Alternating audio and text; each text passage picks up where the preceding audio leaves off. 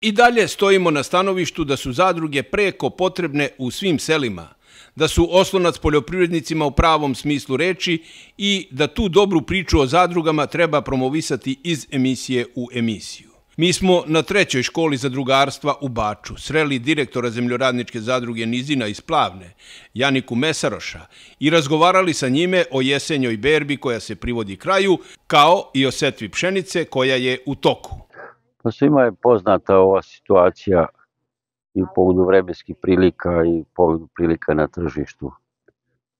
Povodu pre svega troškova, velikih troškova i cena, slabih cena poljoprivrednih proizvoda, pre svega mislim na pšenicu, na uljanu repicu, merkatinu soju, merkatini kukuruz. To su ta neka opšta svetska kretanja da su nas sigurno svi u nas i firme i poljoprivredne proizvođače duboko i mnogo pogodile. Troškovi veliki, prinosi osrednji malo jači od osrednjih, a cene su te koje sa kojima se jedva mogu pokriti troškovi. Da ne pričamo nikakvoj posebno nekoj zaradi i nekoj proširenoj reprodukciji i tako dalje i tako dalje. Situacija je vrlo teška. Kako bi rekao, kako bi naš, naš narod rekao, ko preživi, pričat će. Šta ste ostvarili od prinosa? Zadruga koju ja vodim obrađuje nekde oko 500 hektara obradivog poljoprivrednog zemljišta što sobstvenih površina, što poljoprivrednog zemljišta u zakupu, na dosta lokacija i na više mesta. Prinosi merkantilne soje su se kretali oko 3 tone po hektaru, što nije loš rod u ovakvoj godini, pogotovo u sušnom avgustu mesecu ove godine.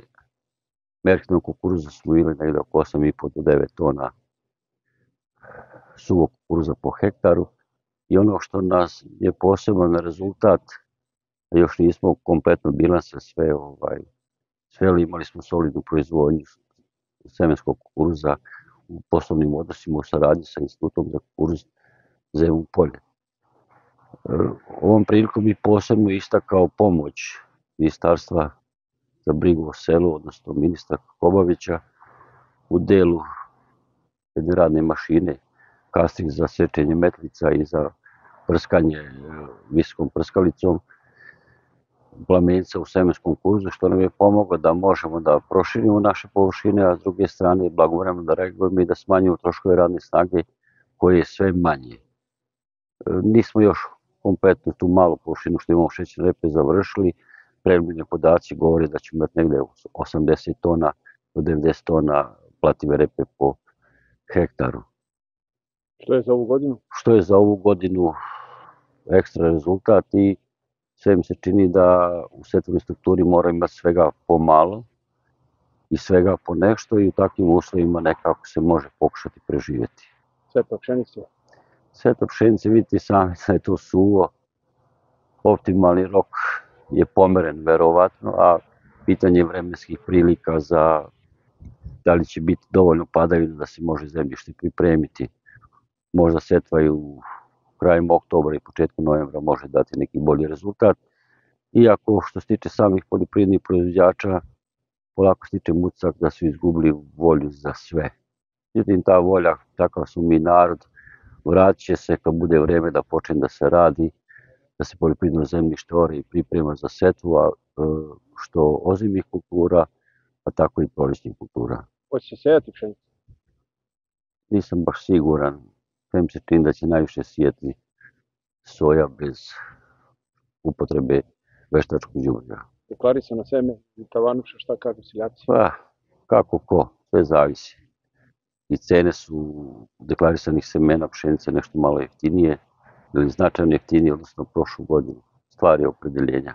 Čuli smo šta kaže direktor zemljoradničke zadruge Nizine iz Plavne, Janika Mesaroš, a sad po pitanju setve pšenice i sa direktorom zemljoradničke zadruga Paprika iz Martonoša, Tošom Matićem, sa pitanjem da li pšenicu seju zbog plodoreda ili zarade. Bukvalno radi plodoreda, a o zaradi iskreno da kažem i ne razmišljamo, razmišljamo kako ćemo najmanje izgubiti. Nažalost, takva je situacija